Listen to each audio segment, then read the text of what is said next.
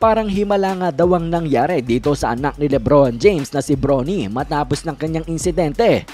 Pero bago natin yan pag-usapan ay ito muna ngang hindi ka panipaniwalang performance na itong rookie ng Milwaukee Bucks. Itong si Marjon Beauchamp mga idol naglaro nga sa Pro Am League kung saan mga idol umiscore lang naman siya ng 83 points sa isang game. Tinalo ang scoring record ni Isaiah Thomas na itong nakaraang taon And well mga idol, kung hindi nyo alam itong si Marjon Beauchamp ay napakabatang player pa. Parang hindi pa nga hinog as an NBA player. Last season nga ay naglaro ng 52 games, only averaging 5.1 points per game.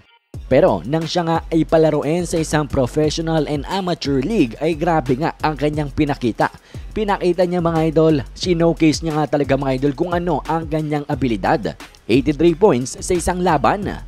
Pagpapatunay nga lang ito na grabe talaga ito mga NBA player. Malayong malayo talaga sila sa mga normal na basketball player.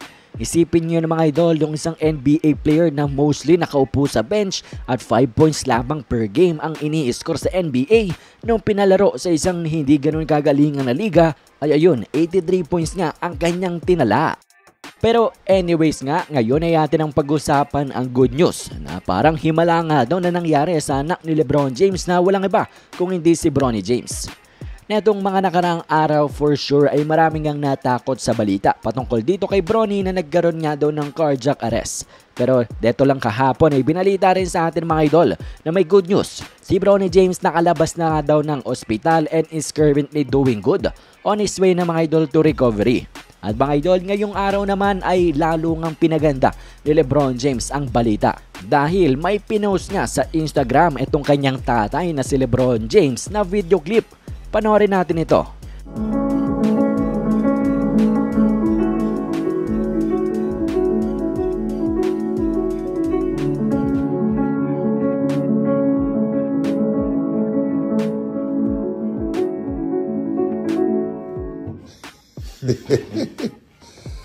Man of many talents. Go ahead. I can do that. So parang okay na okay naman na si Bronny mga idol dito sa video clip na ito ay nagpapiano pa nga.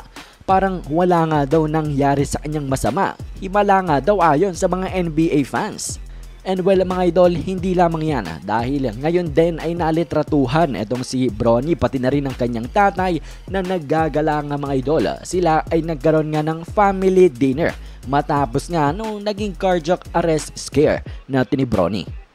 So indeed mga idol, napakagandang balita na malaman na okay na okay na at bukang back to normal na itong si Bronny James matapos nga nung nakakatakot na pangyayari sa kanya. And alam nyo ba mga idol, meron lamang dalawang outcome ang cardiac arrest. Yung isa mga idol ay ito, katulad ni Bronny, makakabalik lang siya sa normal without any side effect. Pero yung isa naman mga idol ay talaga namang matindi kung saan pwede nga daw maapektuhan neto ang iyong paggalaw, movement disorder. Pwede ka nga rin daw magkaroon ng memory loss, impairment, or meron pa nga daw na difficulty sa paggalaw, weakness mga idol, para manghihina na. So talaga nga naman mga idol, napakagandang makita na yung naging outcome sa naging problema ni Bronny sa kanyang kalusugan ay ang best possible scenario. And ngayon mga idol, I am positive na matutuloy pa rin ni Bronny ang kanyang pangarap na NBA career. So for sure nga yan, hindi lamang mga Lebron pati na rin mga Bronny fans ang natutuwa kung hindi ang buong basketball NBA community.